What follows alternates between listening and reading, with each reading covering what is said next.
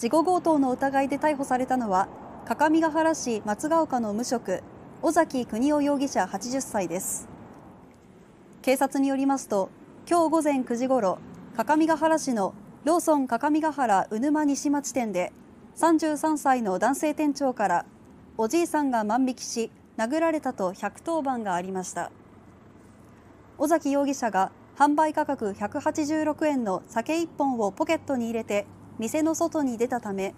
店長が呼び止めて店内に連れて行ったところ尾崎容疑者に頭を殴られたということです。尾崎容疑者は犯行後原付バイクで逃走し駆けつけた警察が行方を追っていたところを発見し緊急逮捕しました。調べに対し尾崎容疑者は容疑を否認しているということです。